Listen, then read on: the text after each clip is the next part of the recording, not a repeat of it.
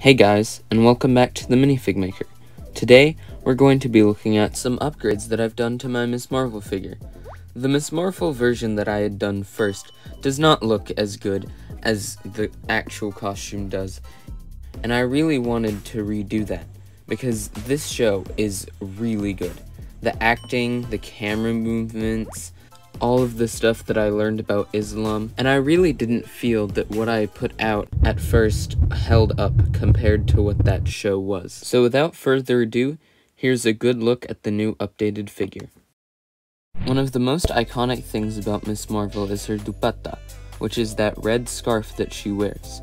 And when I made it first, I really didn't extend it enough. It was hidden behind that hairpiece and it just didn't look good all the effort I put into gluing it together went down the drain. You can also see that I updated the coloring on the arms, whereas before it was a much darker shade of red, now it's much more vibrant, and there's also those sculpted elbow pads for definition. Not much has changed about the back, I just cleaned up the detail around the shoes a little bit, because the lines were a bit blobby. And I also cleaned up some of those red dots. And I added a white line on the sides to make sure you know where the shoe starts. And also, I ended up messing up that mask when I was trying to clean it up, so I just had to redo it by using a navy blue and then redoing the golden lines.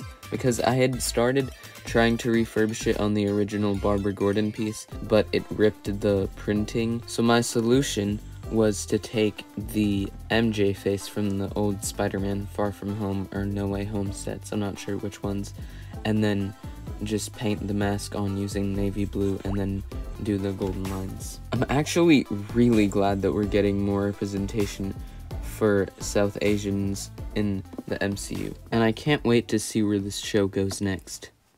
So guys, I uh, have some bittersweet news. Um, the Thor Love and Thunder showcase is going to be delayed for I don't know how long. I finished all of the figures, but filming has become a real pain in the neck, and I'm going on vacation after this for about a month. I'll be back by July 20th, probably, so the videos will probably start coming in by then.